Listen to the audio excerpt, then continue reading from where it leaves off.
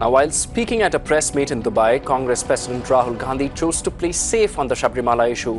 When asked by the media to comment on the ongoing row, the Congress chief stated that it was a complicated issue and he sees validity in the argument that tradition needs to be protected.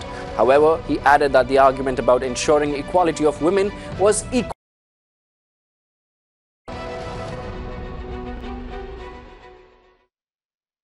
I can see validity in both arguments. I can see validity in the argument that tradition